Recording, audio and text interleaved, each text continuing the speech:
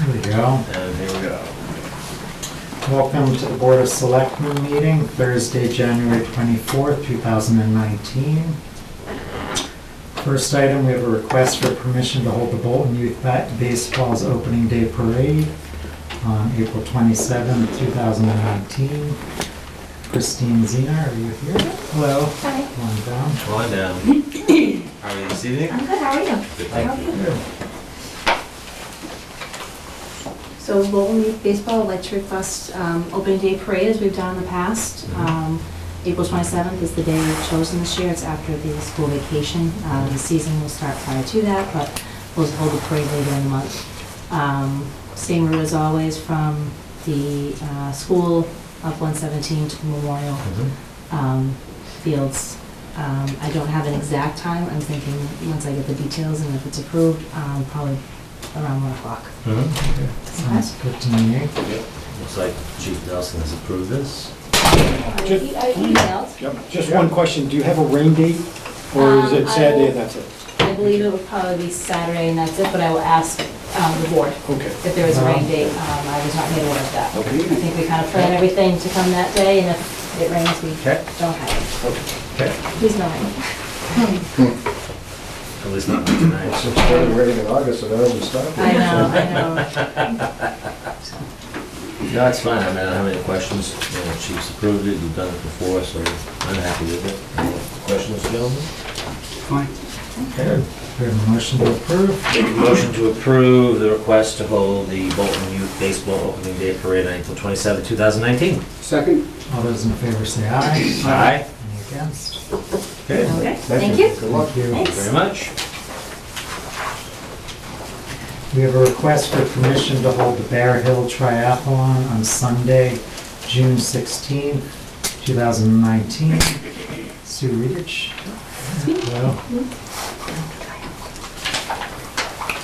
My name is Sue Reedy from the Harvard Lions Club. So This would be our our seventh triathlon. It's the same course as before. We'd be on Harvard Road, Green Road, and then up um, Scott Road, or Bear Hill, which is Scott Road. And it would be from 8:15 to about 8:45 on that Sunday morning. Mhm. We had three marshals at this major corner and three at this major Mhm. corner. Sounds good. Any questions? Nope, Talk sounds to good. Chief. Yes. Chief, okay? Yep, we're all Okay. set. Yeah, I'll be unable to make it this year. Gosh, keep looking for you. Just in, just in case you change your mind. All right, well then I'll make a motion uh, to uh, approve the uh, request to hold a Bear Hill Triathlon on Sunday, June 16, 2019. Second? All those in favor say aye. Aye. Any against? Thank you. Okay. Approve and execute the refinancing documents for current debt bonds. We have uh, Kristen Noel and then Officer Rogers. And our financial advisor. Should I, uh, Yeah, come on out and if you could introduce yourself, sir. I'm sorry? I'm David Eisenthal. I'm the Vice President with Unibank You're not Advisory nice to Services. meet you. Yes, to you. To meet you. I think we met by phone, Good yes. to see you again, David. Nice to see you. I was hoping maybe you could give the board a- an overview as to the process that we went through and some of the key presentation points. Be happy to do that. Um, uh, As uh, you know, uh, we're we're working as the municipal financial advisor to the town. We had been monitoring the town's outstanding debt uh, late last calendar year, and we saw an opportunity to refinance or refund bonds that that the town issued in 2006, 2007, 2008, and 2009, a total of just over $4 million of bonds, all of which are excluded from Proposition Two and a Half. Um, The first three of these issues, the 06, 07, and 08 bonds, were and remain currently callable. The April of 2009 issue is callable on April 1st of 2019, the first call date. We met with uh, Treasurer uh, Kristen Noel and uh, Accountant Natasha Rogers in October. They engaged us to begin work on preparing a disclosure document, applying for a rating from s and P Global Ratings, and then managing the sale, settlement, and redemption of the old bonds. Um, The refunding issue uh, ends up being a 10-year issue uh, of approximately 3.7 million uh, par amount in uh, general obligation bonds. In early January, January 7th, the town administrator, treasurer, accountant, and I met with s and P Global Ratings at their offices in Boston. Uh, A few days after that, we received word that s and P Global Ratings had assigned a AAA rating to the town. Um, The discussion there was that the town's very strong economic factors, cash position and debt position were really key to the rating. But um, the, the rating is also supported by very, by strong management policies and practices and strong financial results over a number of years.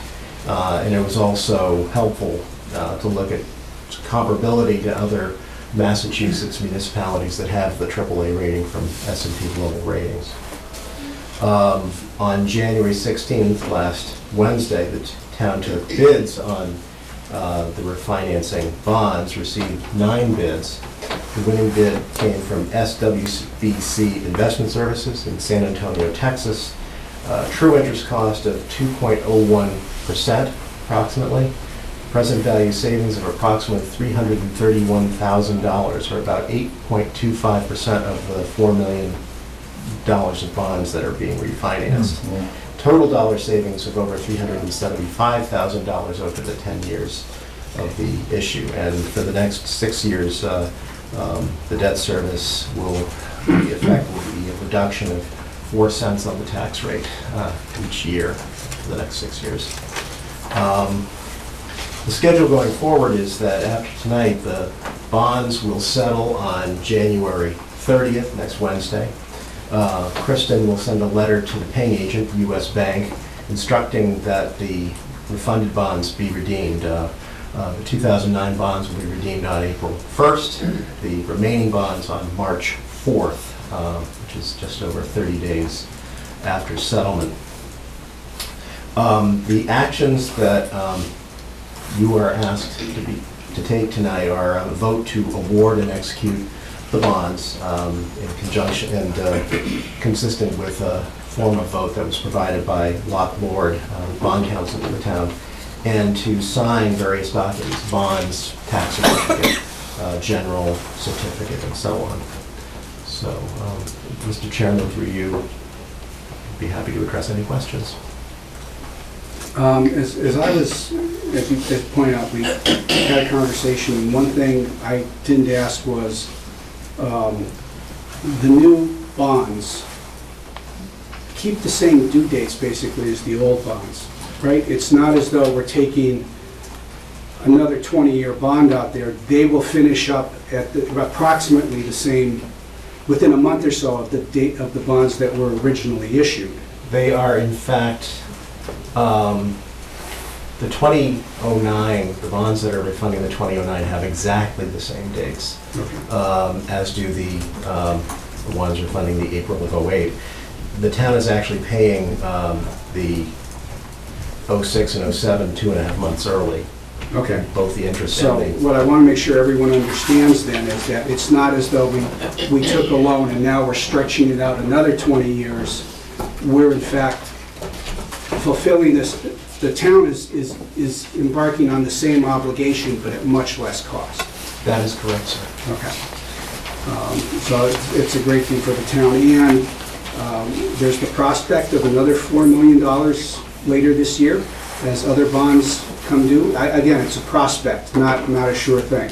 Well, um, I think that I plan to have a conversation with the town administrator, the treasurer, and the accountant, uh, looking at uh, the bonds that were issued in October of 2009, um, to see if there would be the possibility of doing another refinancing.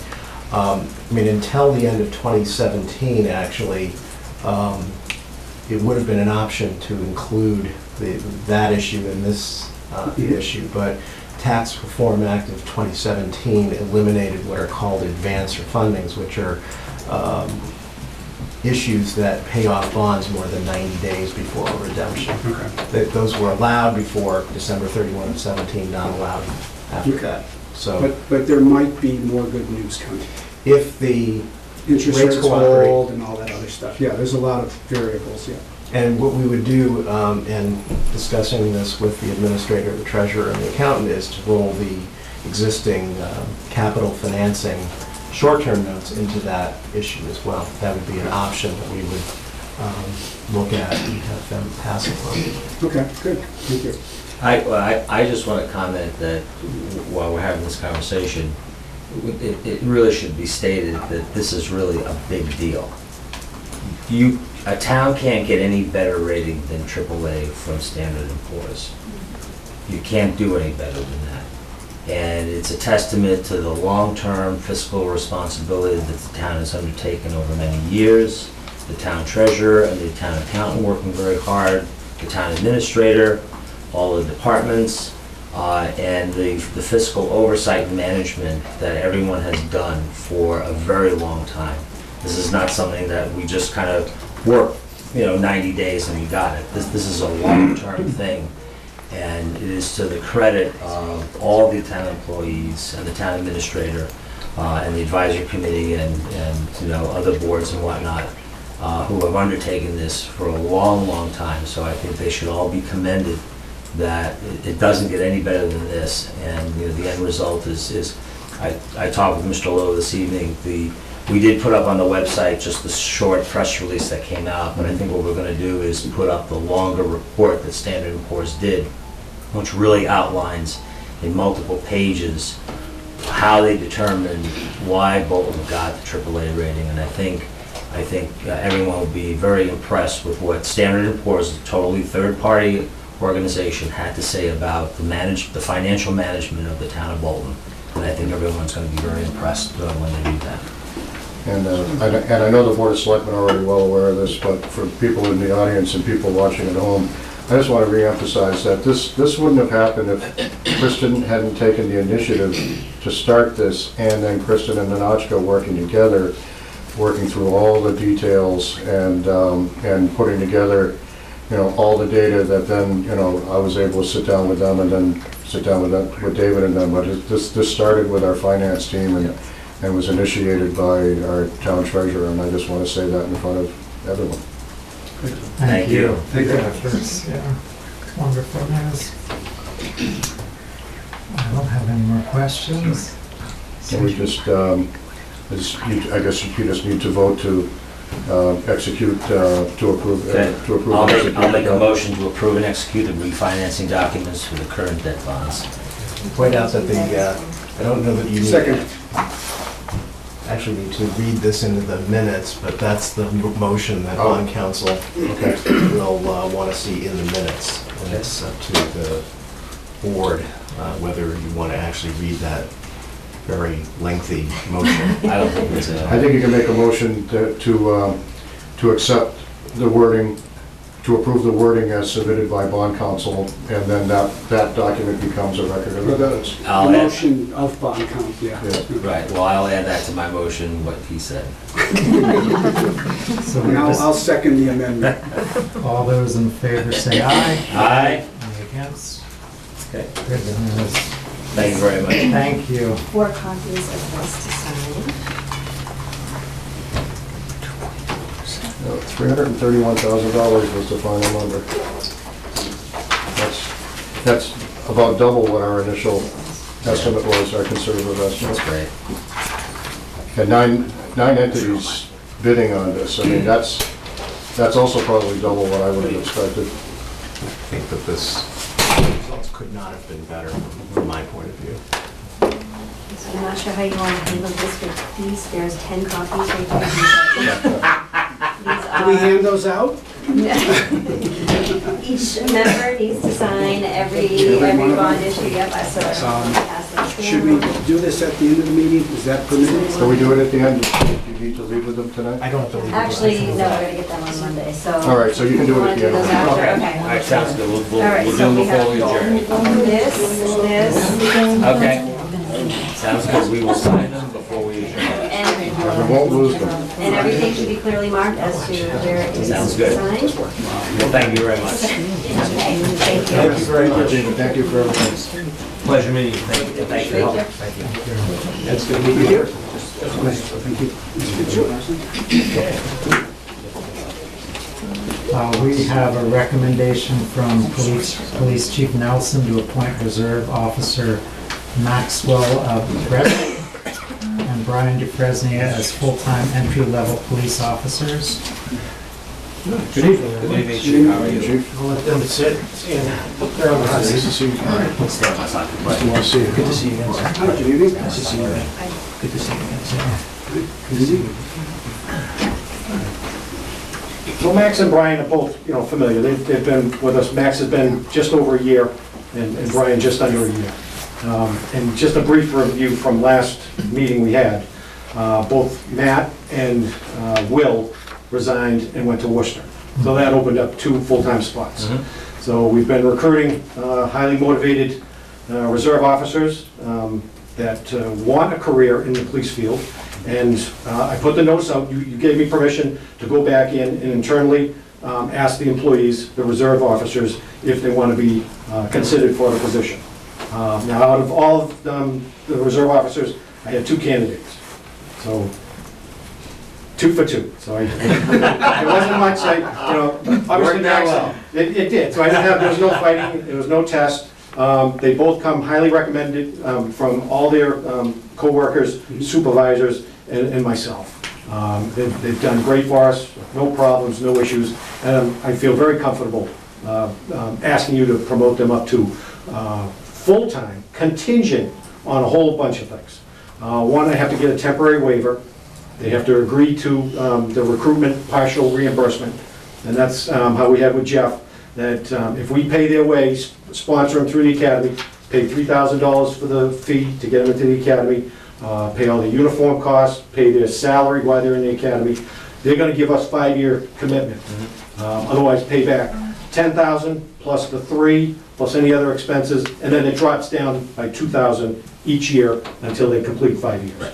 Then after five years, I hope they'll like it enough that they'll, they'll just stay and and not. Could have a future chief in front of us here someday, right? Uh, Possibly, you you gotta start somewhere. So um, certainly, they're, they're here for any questions um, they may have for them, and and go from there. I have no questions. No, I think it's Now, what do you think about the bond offering? Any comments or? So the, the the only thing I'll add is, I I will leave um, a couple documents, um, if they want to sign them, they can sign them later, I I don't, I don't need to um, take them. But um, I'll I'll need signatures for the temporary waiver, Mhm. because I've got to apply for that. So that's, the next time the committee meets is in February. Um, So we can't put them on until I get the temporary waiver. And that's with the union? That, no, um, uh, MPTC, uh, the Mass Police Training Committee. Okay. So um, I can't g- give them a full-time uh, job until I have that temporary waiver. So once I get the temporary waiver, February 21st, if they call me up and say I have it, then I can, I can say you guys are good to go. Okay. So whatever you guys decide now, it's contingent on all that. Right, gotcha, gotcha. Um, And then And once we then, get the waiver, that's when they can start policing full-time until they get to the academy. exactly, They- as reserves, they can take as many shifts as they want right now. Mhm. Um, And then Max, um, I've already secured a seat in the next academy, if all goes well. It- It's reserved, so it's obviously, uh, he's ready, he already had most of the paperwork ready uh, to go, physical, and the PAT that he had to do. Uh, So uh, I've actually got a seat in March for him, if all Okay. works out well. Cool, cool. What do you need from us? And, and one more thing, I, I do need Don's signature, he'll, he'll need permission to sign the uh, recruit agreement, that's the uh, payment. Okay. And from you, I just need, um, obviously, uh, to appoint him full-time contingent on everything that we have. Okay, all right, then I'll make a motion that we appoint uh, reserve officers Maxwell Bressi and Brian Dufresne as full-time entry-level police officers, uh, per all of the conditions that, and you have uh, described to us this evening, and to allow Mr. Lowe to sign whatever documents that are necessary by you to get things rolling. Second. All those in favor say aye. Aye. Any against? Great. Okay? Thank you very much. Congratulations.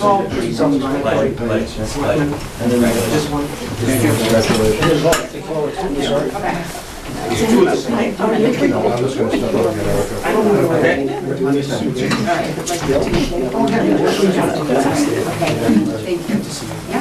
What's next? Is, uh, um, Oh, they- Still River. Okay, well, they stick around for a few minutes.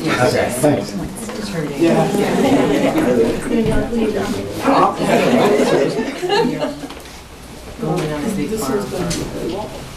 There's some uh, empty seats in here if you want to come in. So next, we have an update on Still River Commons project uh, with the town planner Erica Uriarte. Hi Erica. There we. And uh, do we have the attorney or we have, I'm here on behalf of the attorney and the developer of Ducharme Villas. what is your name? Seth Donahoe. Uh, Seth? Good evening. Good evening. So we're going to start. How do you want to Erica, can you start? take us out, Erica? Sure. Um, So uh, the ZBA hearing um, has been continued to February 12th. Um, So we're still going through the public hearing process. Um, To date, we've received um, numerous comments from departments, boards, um, residents. The applicant has, I would say, responded to most of them. I don't know if they've been fully addressed, but um, we have received responses. Um, most of the hearing up till now has been dedicated to the peer review um, that Horsley Witten Group has, has completed. Um, They've done um, a very thorough job of going through, going through the engineering um, of the project. I would say that their major comments, revisions, were looking at the, so the stormwater for that site is um, being collected and being sent to an underground infiltration system. So Horsley Witten had them do some additional soil testing to confirm the soils to make sure that it's actually going to infiltrate the way that they say it will. Um, And then also providing um, a two-foot separation to groundwater. So that was, that was a major comment and that required some redesign of that system. Um, The second major comment I would say would be um, capturing some of that runoff that drains from the proposed driveway to Still River Road. Um, And I believe the applicant is still addressing that, and that sort of being incorporated with some of the the DPW comments um, that were made. And then lastly, uh, we had done a site visit um, with Horsley Witten along with Rebecca, Rebecca Long Longval, um, and they had questioned some of the locations of the wetland flags. So um, the applicant has agreed to go through the the ANRAD process with Conservation Commission. Um, So that's, that's basically, I think where we're at with the peer review. In terms of outstanding items uh, that still need to be addressed with ZBA, would be um, obviously confirming the wetland line, and then addressing um, the latest round of comments from Concom. Um, The attorney did say that um, they'd be providing uh, an updated uh, waivers list, uh, particularly related to the waivers being requested from Bolton's wetlands bylaw, because currently it's very hard to the ZBA to really understand um, what they're going to be waiving um, for the project. So that we should be receiving that for the, for the next hearing. Um, DPW did have a comment about um, including a design for a culvert under the driveway entrance to handle runoff that goes along Still River Road and to also handle the runoff that's going to be basically draining from the driveway to the road. Um, And then as part of that design, the applicant has agreed to also provide um, best management practices, upgrading and downgrading of the culvert to um, provide some additional treatment before it goes into the, um, the, the- the stream that's, that's, that's a lot further down on, on Still River Road. There's a retaining wall right now that is shown on the plan extending into the road right of way, so that needs to be um, pulled back. Um, uh, That, that was something that Joe had, had, um, had requested. Um, and then something that I had recommended at the last meeting, and I believe some of the, the residents had recommended as well, um, was providing uh, nitrogen pretreatment as part of the septic system, since um, the systems are going to be less than 100 feet from, from the wetlands. That's something that's required by our local um, um, um, Board of Health regulations, Uh, but they are requesting um, they're, they're requesting a waiver from the local Board of Health regulations to be closer than that, um, 100 feet, so that, that's why the, the, the the nitrogen pretreatment um, is a recommendation from myself and from the abutters. And then lastly, they still need to complete the design review process. This is something that the applicant had agreed to do um, way back before they had even made their submission to um, ZBA. So um, they've gone through one meeting with, with that board, but um, it still needs to get wrapped up. So that's, that's basically where we stand at this point. Great, thank you for that, Erica. So what are the next dates coming up in this process, important dates? So February 12th um, is the next hearing date, and then March, uh, I don't have it in my packet, but it's, it's, it's, I think it's March, it's either, it's March 21st, I believe. Or is it the 19th? Um, Is when, so we basically have, the the ZBA has 180 days to hold a public hearing, and then essentially they would need to close it and then deliberate on, on their decision. So um, we're nearing that 100 day, 180 day mark at the, you know, mid, mid-March. Okay. When I look at the plans, or or the the documents, the- I guess the initial documents, there, there was a discussion that there was a a variation in the square footage in some of the units. Well, when I looked at the, the plans and, and the, the, the dimensional stuff, it looked like all the units were exactly the same height, width, and length. So I couldn't see how you could have one having three or four hundred square feet more than another. So, you know, that's one comment I had. Two, uh, you know, some of them I think are two and some of them are three bedroom. Um, Is, is the extra bedroom that little ten by ten thing that sits out in the back on the ground floor behind the garage? Is that the third bedroom in some of these units?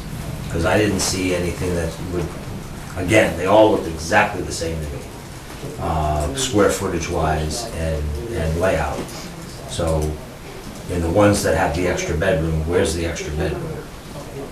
I can address that for you if you like. There's a, a mix of units, with some of them having essentially a slab on grade, and some of them having a walkout basement. So your square footage difference is for the units that allow for the livable lower level on them. And But that- but that walkout was ten, but ten by ten, so how, how do you get, how do you get three hundred square feet out of ten by ten? I, I'm not fully, I'm not the architect. Yeah, by the way, yeah. But there were architectural floor plans in there, and my understanding of it is the difference is that, I- we call them Unit A and Unit B on the plan. There's, there's Right. a variety, and, and the differences in the configurations of the interior spaces, um, with the bigger one being the one that obviously has the walkout, which a- affords for a smaller, lower level on it. So that's a le- a whole level below the, the garage. Correct. So in, in general, the site, um, you would come in, there's a, a turnaround area, which would look like a, a regular at-grade house, and then on some of the units, there's, uh, the ability to go down to a lower level on them. Which is also the third bedroom, I would assume. I believe so. Yeah. Seth, do you have anything to show us on the plans that you brought? I do have some overview plans, I, I'm happy to put them up if you need a, a review of the site briefly.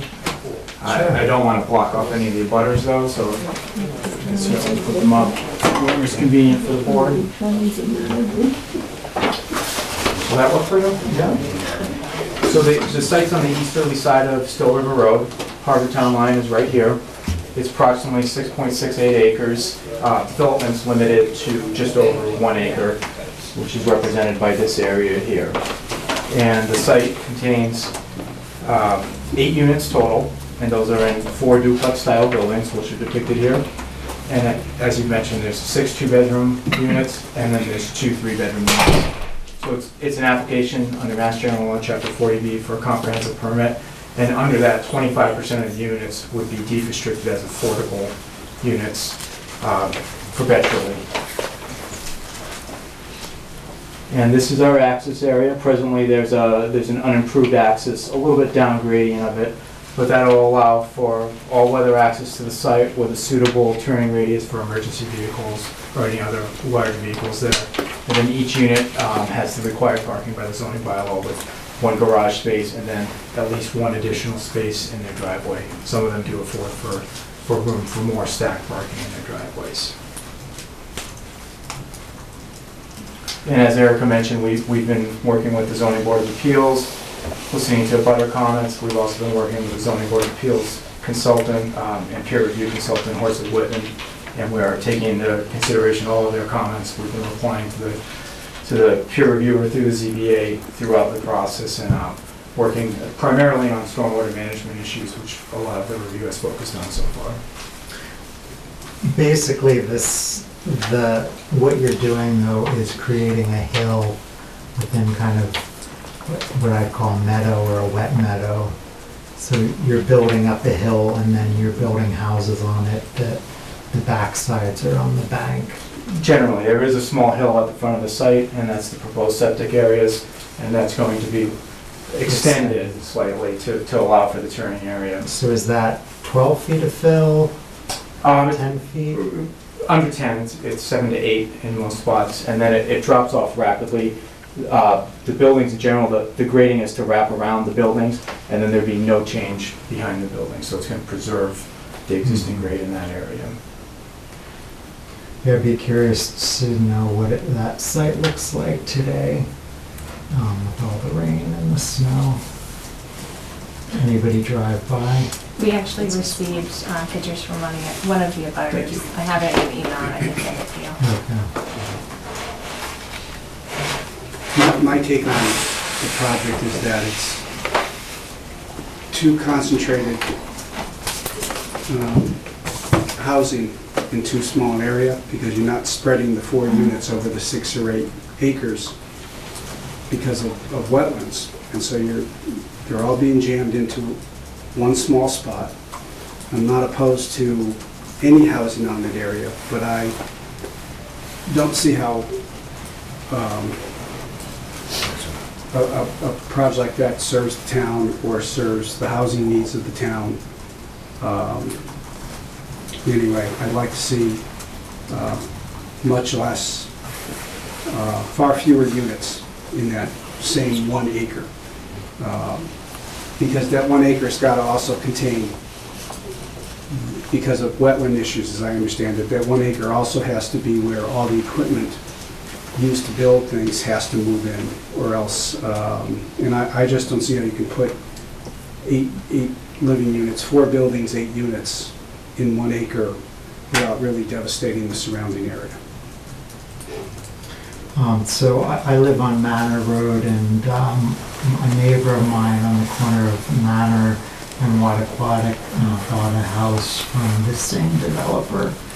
And he had no idea that, he knew there was, um, conservation area around his house and that was marked by a fence, but he, that family had no idea that their yard flooded. And it's flooded now over the driveway today. Um, You know, the DPW director has done some work on the culvert and that definitely helped, but he has, he has uh, an intermittent pond or a vernal pool there uh, for- in the fall and the spring, and today it's flowed right over the driveway. And so he had no idea. And as a family, you know, it's very frustrating for them to buy a house.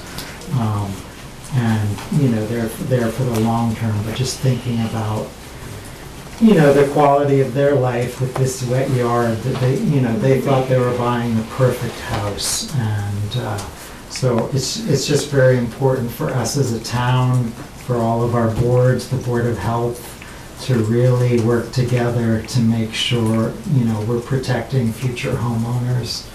Um, Because in this site, they did the same thing. They built the house above, um, above the water line, so you have a basement above ground, and then you have a huge, like, nine-foot hill in front of the house for the septic system. So it's very similar to this project. Um, It's only one house, but that's one homeowner who, you know, is very kind of unhappy.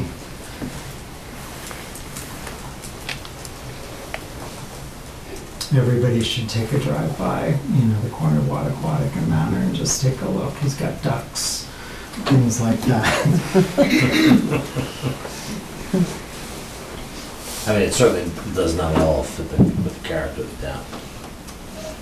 I mean, architecturally, it- it's, it's not, not at all appealing, even from that perspective. But to echo your comments, all the, the wetland implications, it's, um, they're, they're trying to cram, cram all this into such a small space.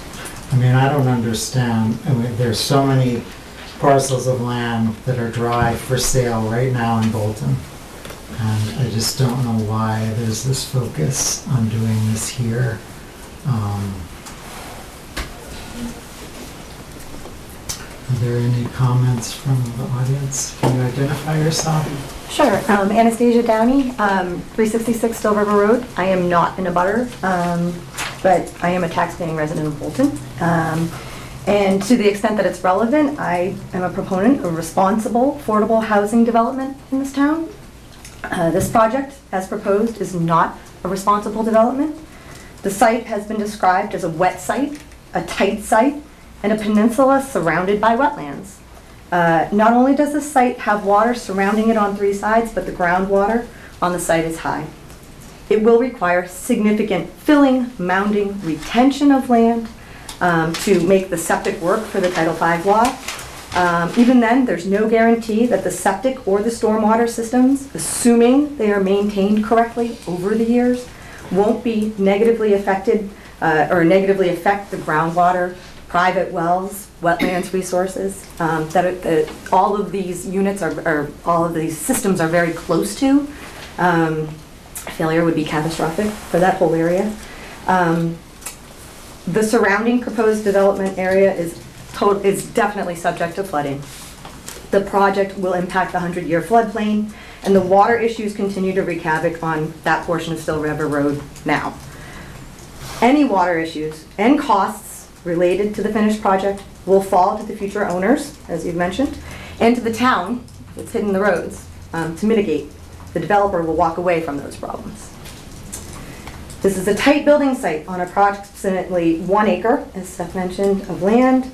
The developer is proposing four duplex-style homes, 240 feet of driveway and cul-de-sac, uh, impervious surface, uh, two nine-bedroom septic systems mounted and retained, as well as a large stormwater infiltration area, which is under the cul-de-sac in part because there is nowhere else to put it.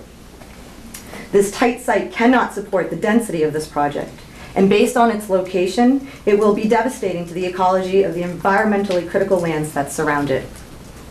The ecological resources on and surrounding this property are still undefined and need to be established by experts in order for our ZBA to make an informed decision regarding this project. The entire property falls within an estimated habitat of rare wildlife and priority habitats of rare species. It's also designated as core habitat identified in our biomap 2. There are recent documented and approved sightings of the threatened Blanding's turtles in this area. Uh, The developer has yet to file a MESA review. I'll leave it at that. Um, Analysis of ecological resources should be conducted on this site, but they should be conducted during peak season. There was mention of some assessment being done now in January, which is very disheartening because when you're looking at wetlands, the hydrology, the vegetation, and the species all kind of come into play for when you're determining where a wetland is. And right now, you can't see the species and you can't um, see the vegetation because it's under the snow. Uh, Finally, Bolton's ZBA is tasked with weighing Bolton's need for affordable housing against the local concerns, uh, including public health and safety and environmental issues. The impacts of this project on Bolton's subsidized housing inventory will be, in the words of our planning board, insubstan- unsubstantial, insubstantial, two affordable units offset by six market-priced units. When you run the numbers, there is no notable increase in our effort to reach a 10% affordable housing goal. Bolton gets nothing positive out of this development. This is the wrong type of development for this unique and environmentally sensitive property. I strongly encourage the Board of Selectmen to recommend to the ZBA denial of this comprehensive permit application. Thank you. I'm Martha Remington, Chairman of the Historical Commission, and I would like to reiterate for people representing the developers and for those present that this Still River area is the most sensitive archaeological, historical area in town, uh, with artifacts and sites of mills and things. Um, That alone should uh, shine a red light in front. Um, I did request that if they discover artifacts, the developer should return them to the Historical Society here in town. Uh, Things like Indian artifacts, whatever. So another reason that this is a poor choice of a place for dense development. Thank you. Hi, Bob Martell, 302 Bowen Hill Road. Uh, I am in a butter to the project. I want to concur with um, what was just mentioned by Ms. Downey and uh, Ms. Remington. Um, Also, you know, the affordable housing interests that are uh, being considered here by Mass Housing is a- a general one and not specific to this project. Uh, I think in general, they want to see every town in the Commonwealth strive to achieve their 10% inventory. But it doesn't necessarily have to be this location. Uh, And for the reasons mentioned, I would uh, argue that this is not a good location for this project. Um, One thing that I think might go a long way, uh, if you were to see fit, uh, in, in- are of the opinion of denying uh, this project or denying your support for this project. I know recently in the town of Acton, uh, there's a similar 40B project going on, and the Board of Selectmen have weighed in there, uh, giving their um, thoughts uh, directly to Mass Housing. Um, That's not something that's required as part of the ZBA process, but I think uh, if you were to see fit to do that, and also at the same time, maybe um, suggest to Mass Housing that there are other sites in town which might be more appropriate, that Bolton's committed to um, reaching its affordable housing inventory, um, not in the future, but right now, uh, but that it's just this particular lot, this particular project is, is not in keeping with the spirit of the character of the town, uh, as well as some health and safety and open space concerns, which are, as cited by Mass Housing, legitimate reasons for uh, the ZBA or the selectmen to uh, suggest that the project is not appropriate. Thank you.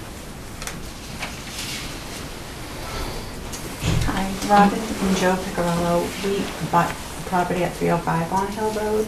And when we bought the piece of land, we had all the rules that we needed to follow with the conservation, with the wildlife fisheries, and um, we followed all those rules.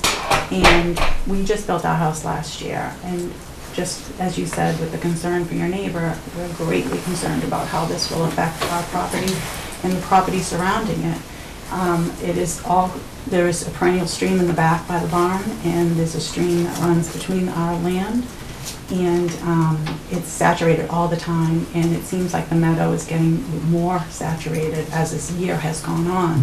We had to um, follow the, um, yeah, certificate of compliance with the National uh, Wildlife and Fisheries as well.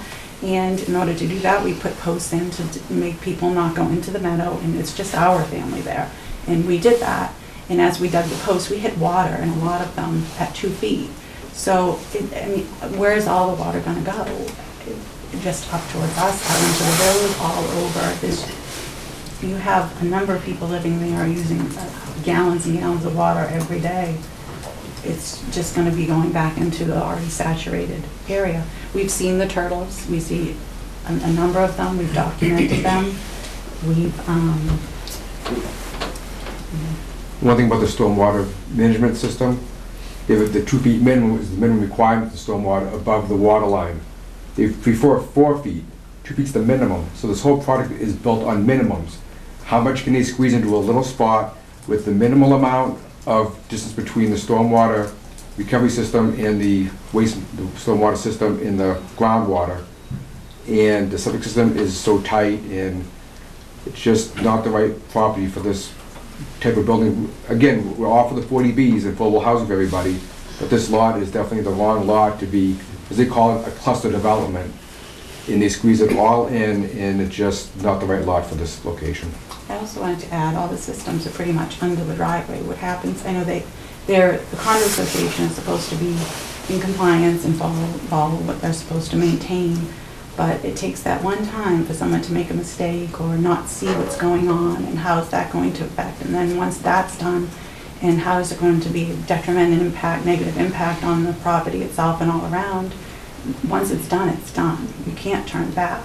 And it's, They made mistakes in the law already, they mowed the lot prematurely, supposed to only mow the lot between November 1st and May 31st for the turtles protection. and they had that when they bought the property. And We they, had that and they mowed it in October.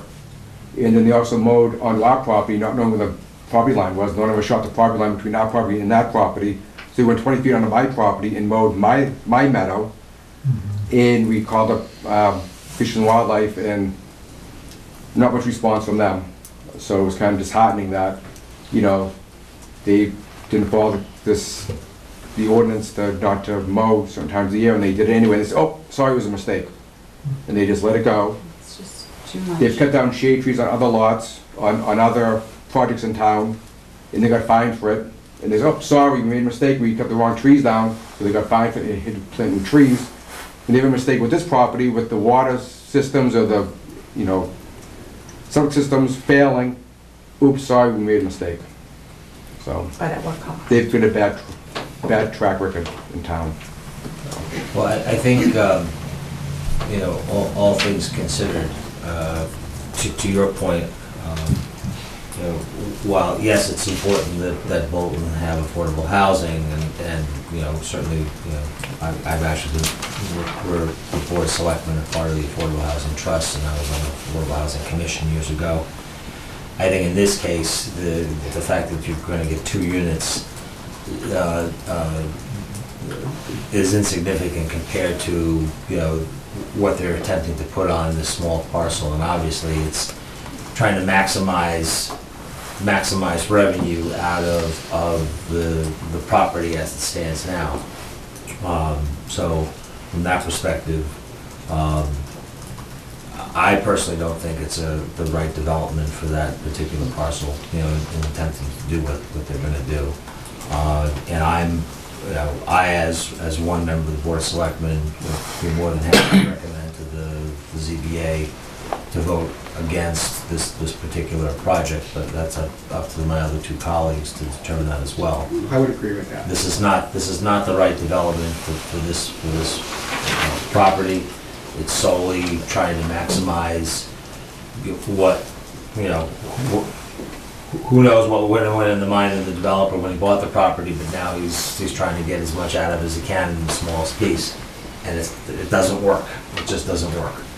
You can put a single-family home on there, you know, if, if, if that's even possible, but I'm, I'm more than happy to recommend to the ZBA. Just so you know, the way things work, the Board of Selectmen really don't have a lot of clout here. It's really the ZBA and the planning board that the clout, but I'm more than happy to uh, encourage my colleagues uh, to, to go in my direction to, to, to vote to recommend that the ZBA disapprove this particular project.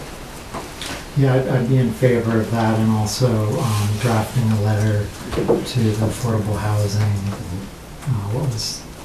Affordable housing, trust, yes, yeah. Matt's house. Mass housing, um, similar to the letter that Acton Yeah. Drafted. Not that we're against it, but this is not the right place uh, for it. so. Stan, you want to go ahead and make your motion? Yes, I'll make a motion that the Board of Selectmen uh, uh, vote to officially uh, present to the uh, the zoning board of appeals the- our disapproval of the uh, project on, at Still River Common. Second. All those in favor say aye. Aye. Any against? And so if we could work on a letter. Mhm. And confession one after. Just the- say no. Confession one after the one for that. That'd be great. We have it for the next meeting. We have one more quick Yeah, I'm comment. Mike Monadel, Green Road. I know that um, I'm I'm a little too late, but it is part of the watershed, and it's also very close to the ACEC area, and all of this watershed goes down. Still River is the chokehold there, and if they do this, they're gonna absolutely destroy that whole area. Mhm. And it also goes down to the Nashua River, and we have just spent 30 years cleaning the river up and we don't need more pollutants Yep. going into the river. Yes. So I'm Gerard Hearn and uh, Chair of the zoning board, so appreciate all the advisors that have been uh, attending the hearing so far. We've had a robust turnout, um, some great commentary, um, pushing the board as well as the developer to respond to their, you know, technical questions, their fears, their concerns. Uh, They certainly expressed their love of Bolton and keeping Bolton beautiful and keeping it, you know, archaeological significant, not disrupting things. So um, I just say hats off to the town and to the different boards that have been involved in the process. Um, I do welcome the support or whatever input the selectmen have. Um, I wouldn't count yourself short on how much leverage you, you do have in the town, and even to our board, like you, uh, it's zoning board and the other boards that Mhm. Feed to us, it is important to hear from our selectmen, Yep. so. um, And at the back end of the process, because it is the 40B process, um, regardless of how much affordable we take on or not, um, at some point, any type of denial, um, just from history, that at least my involvement, um, will be looking toward uh, probably an appeal. And so that's when the selectmen will have to mm-hmm. then support that appeal as far as the costs of the town. I'm not adverse to that, I'm just saying, mm-hmm. your support is, you know, im- important in that respect too. Mm-hmm. And uh, as you know, Mr. Chairman, I'm I'm responsible for managing the legal budget, and I'm perfectly comfortable applying whatever funds from the legal budget that would be necessary to support that, so. Thank you. Thank you. Thank you. Good. Erica, thank you. Seth? Thank you, Erica. Thanks, everyone. One minute now.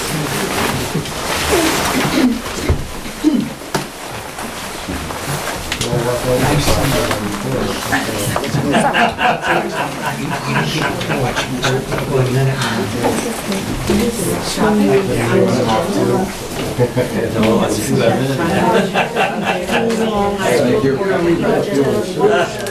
You should be selling commercial breaks during the transition.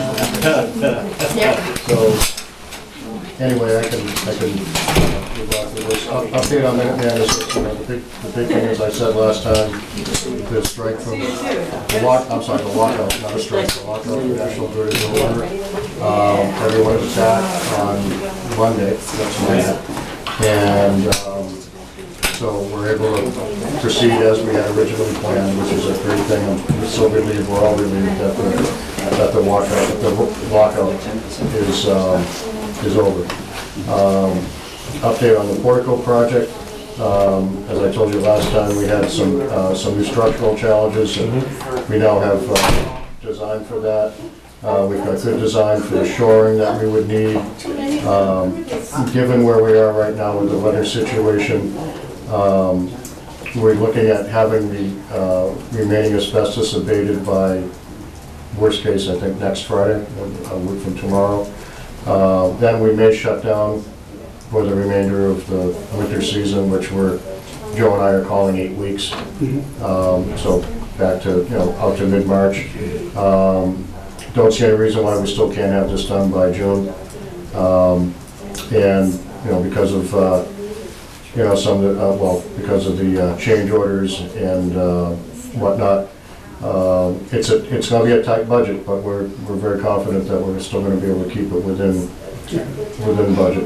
Um, But I have to say, uh, Joe and, Joe and our architect are meeting um, weekly with the contractor and, and ma- managing it very tightly. Um, Is the back guano cleaned up? I'm sorry? The back guano? The back guano is, the- the- yes, that back guano and the asbestos will all be gone before we shut down for the winter. I'm glad I don't have to make my living doing that. Um, um, Update on the Board of Selectmen's, me- uh, on moving the Selectmen's meeting to the Public Safety Building. Um, I presented the uh, capital request to the joint meeting of capital planning and advisory uh, this past Tuesday night. Uh, Bob was there as well, uh, fielded many questions from both boards. And um, the one thing that I've I've adjusted the expense slightly um, for the labor, because I I think I told you at the last meeting, I was uh, pursuing some procurement questions to make sure that um, if we go forward with this, that it's done the right way. Uh, What I hadn't considered is that the labor to do this would fall under prevailing wage. Um, And definitely had not anticipated that. It's a few hundred dollars, it's not a major hit, but it's something that I'm glad I caught early, uh, which is why when in doubt, call the state and find out. And um, so we, so we got that taken care of. The- The estimated cost is still around thirteen thousand dollars. It was a few hundred dollars and maybe more, but, so anyway, uh, so that took place. Um, Aside from that, um, two quick things which are not on the agenda, uh, one word to one thing you're doing later, but as I was trying to finish my annual report today, um, I looked at it and I realized that what I needed to add to it, and I did ultimately, was in, uh, for 2018, what we brought in for grant money. And I thought the board would be um, very interested to hear that, um, and I, and I can't say this enough, my staff initiated uh, pursuing these various grants. And we received $141,060 for the Green Communities Grant. We, uh, we've been awarded, and now we have a signed contract, $975,000 for the MassWorks grant, so we can start spending against that. As uh, part of our community compact, which Lieutenant Governor Polito awarded to the town in a ceremony at the Houghton Building last year, we were able to acquire the following funds. $10,000 for assistance to create our complete streets policy. $38,746.75 to create our complete streets transition plan. That plan will allow us to pursue funds in the future for engineering and construction to make road improvements uh, in the in the, what will be the targeted locations. $25,000 to create our Americans with Disabilities Transition Plan.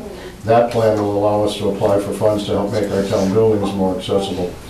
$22,635 for our IT infrastructure grant uh, project that we just completed last week, where we transitioned from uh, GOTMS over to the new Viewpoint Cloud software, which is a huge uh, improvement in how we're able to do things. And the, um, the planning department, um, the building department, the uh, fire department, and the town clerk's office will all be able to utilize this. So to put it in perspective, uh, the grants that I just mentioned resulted in a grand total of one million, two hundred twelve thousand, four hundred forty-one dollars and seventy-five cents being awarded to the town in 2018. And I just want to, again, recognize my, my, my staff for initiating those grant applications. That's- Congratulations, that's great. Congratulations, that's five or six percent of our budget. It is.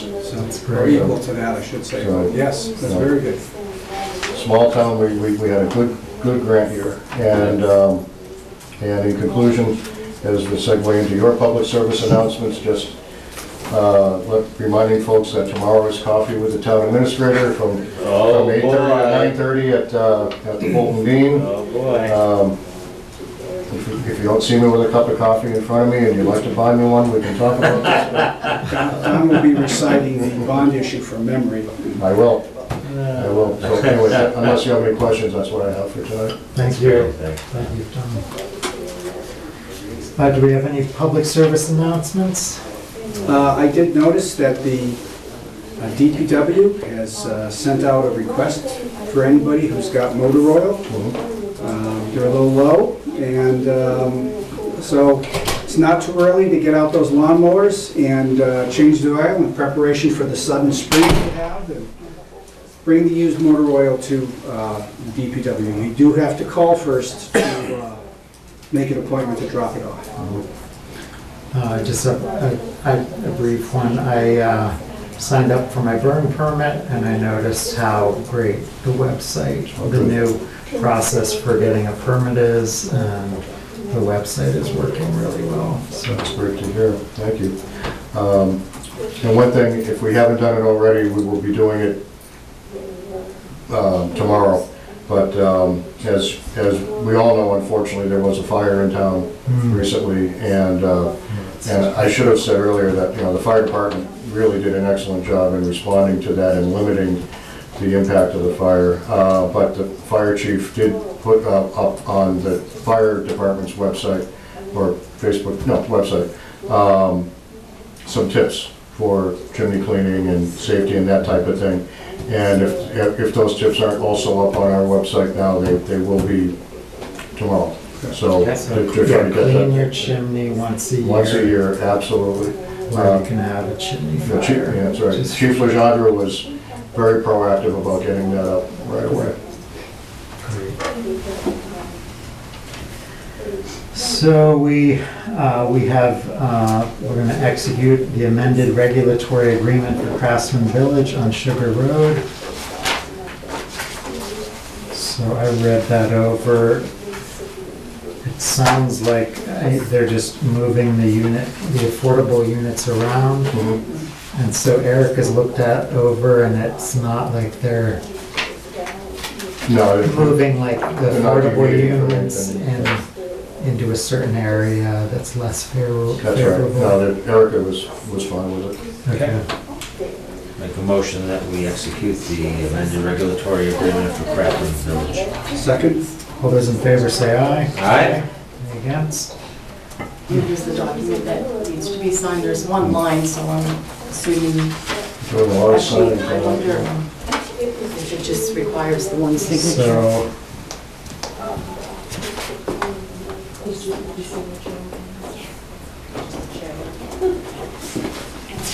Erica's still here, Yeah, she is, just the, um, just with the red.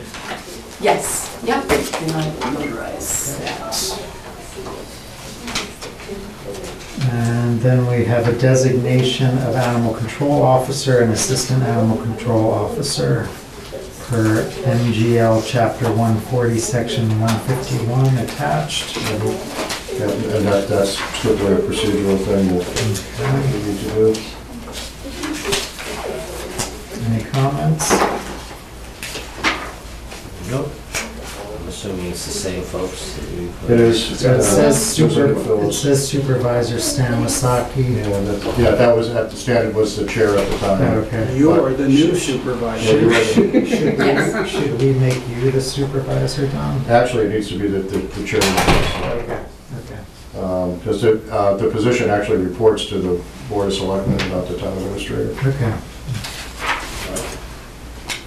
So I'll make a motion that we approve the uh, animal co- control officer and assistant animal control officer per MGL Chapter 40, 140, Section 151. Second. All those in favor say aye. Aye. Any Okay. against?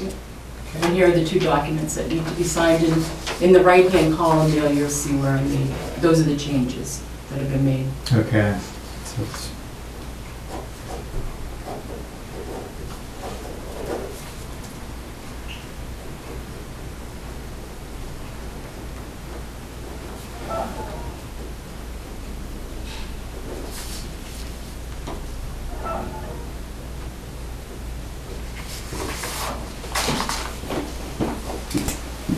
Thank you, Erica. Hi, Erica. Good night.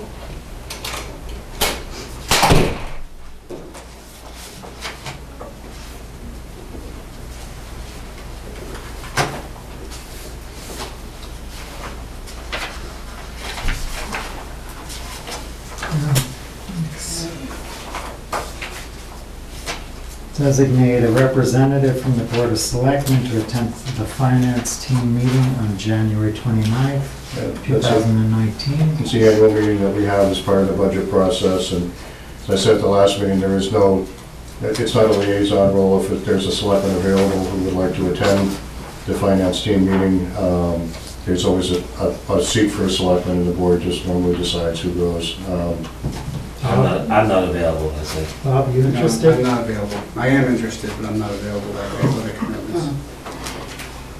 Uh, January 29th. It's 10 Tuesday. 10 a.m. It's a Tuesday, right? Yes. Tuesday.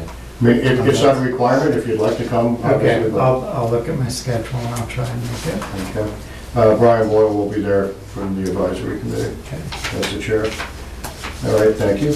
Um, Oh, we, sorry, we just have the, oh, did you have anything else? No, I didn't know. So call the caucus for March 4th, 2019, and execute the notice. So moved. Second? All those in favor say aye. Aye. Aye. Any against? Okay, and there are some, Cool. I'll find a couple more sheets for you to sign. Oh, I have them here.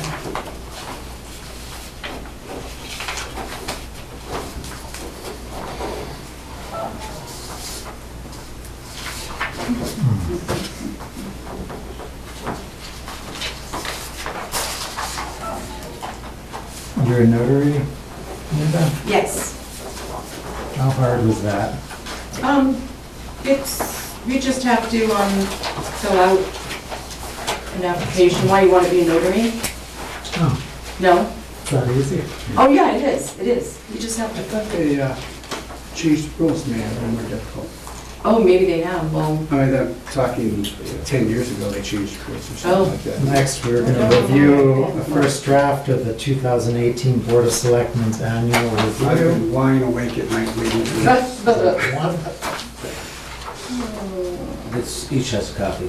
What I've done is I've, I've outlined, uh, topics to discuss to make sure I've captured everything. Uh, I went through all the, um, meeting agendas for last year. Uh, if there's something that we wanna add, and what I'll start doing then is I'll start adding more narrative to that, but basically, this is just a list of potential items to discuss for the, um, annual report. So if you think there's something that's missing, let me know, and I will uh, add to it. But uh, uh, I just wanted to capture the topics, and I will, some of them I may just do bullet form, some of them I'll do narrative, uh, but I just wanted to make sure we captured everything. So it's, it's too early to like add commas and all that stuff. Oh, no, no, co- no comments. No comment. It's now, if if I if I missed something, let me No, I know. mean, a comma. Punctuation. No, no, no, no Okay, comments. it's too early, all right. Too early. It's No, an no early comment. draft. Early draft, no comments.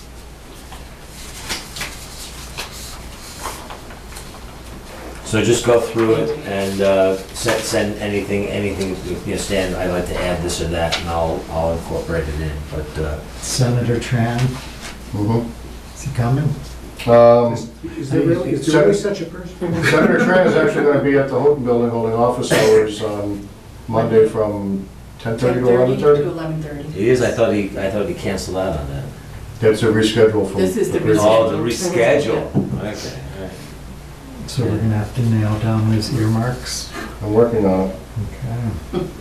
So, so just go through, we don't have to go through it right now, just Okay. go, go through and just shoot, send me an email if you think that I, I left something off, and then I'll, I'll build up the narrative for everything here.